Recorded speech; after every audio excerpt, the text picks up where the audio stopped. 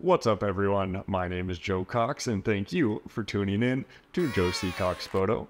As always, we do have a new plant for the video. Second, this is an unscripted video. And third, this is going to be covering my own personal workflows, so there will be some things included, some things excluded.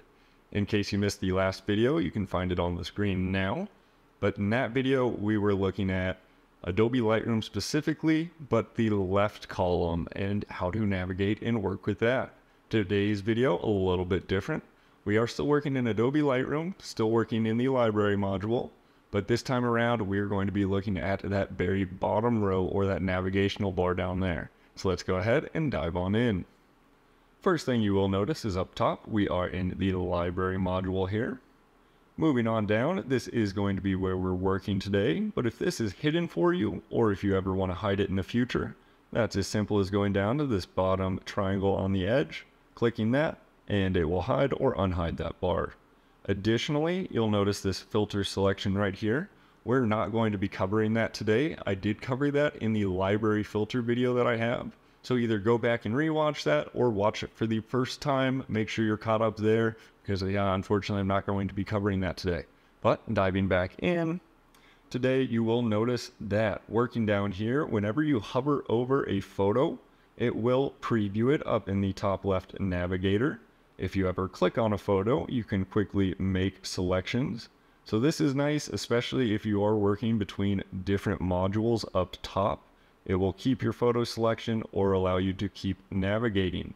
But moving back to the library, Additionally, um, you can navigate through here um, while in a loupe view, but while looking at some of these view options, there are three we have never seen before. So we've got a compare view, a survey view, and a people view. Looking and starting in compare view, you'll notice it compares two different photos. So the photo on the left is the select, the photo on the right is the candidate. If you go into the zoom slider, you can zoom in on both photos at the same place and same rate, or if you click on this lock icon, you will only zoom in on your select. And if you hit that lock or lock icon again, you'll notice it zooms in your candidate. But moving further right, this first button you've got is going to be a swap between your select and your candidate, whereas the button right next to it is only going to be a make select. So in this case, your candidate will now become your select and you cannot swap it back. So if we make that happen, you'll notice we now have nothing here.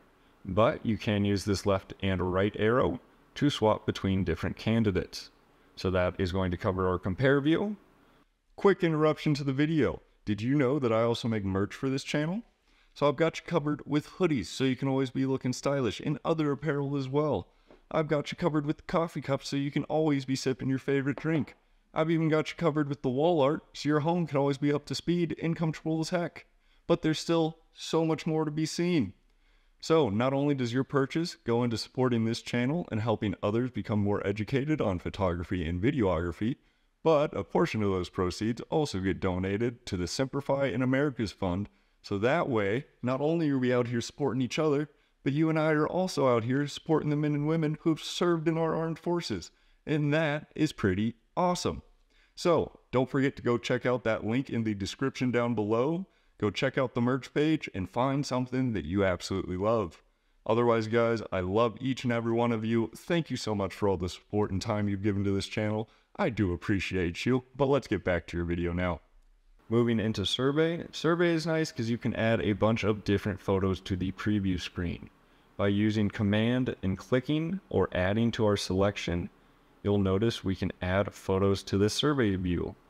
Moving over to people, people view is specifically going to be Lightroom, including any photos that it detects people in, but none of our photos have that today. Can be useful, but unfortunately I can't show you an example. Moving back in, next thing I do want to cover is this one and two arrow. Real quick, let me go into my grid view. But this first one is going to be our main window. And this main win or window, when you click on it, allows you to change the view. So we could go into a loupe view. And then additionally, it will allow you to change or change your screen mode. So currently I'm kind of in a weird setup where I'm not going to change anything because we are recording the video. But if you were just on like a normal screen and it is kind of sized down, you could use this to go to a full screen view um, a full screen with a menu bar, or even a full screen preview of just the file. But continuing along, we do also have this secondary screen. If we click on that, it opens a an entirely new window. So if you had an additional monitor or something, you could take that and place it over there. Whoop. But you will notice, and if I reopen that, it does still have a grid view, a loupe view, a compare view, and a survey view for us to use.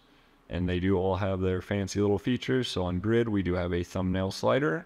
On loupe, we do have our zoomed and compare. We've got our um, swaps and make select. And then in survey, we there again, um, well, we can't actually do anything down here, unfortunately. But yeah, so that is again a survey window where we could have had things or add more things. But we're going to close that. Next, I do want to look at this. It is a library grid. It does just take us back to our regular grid.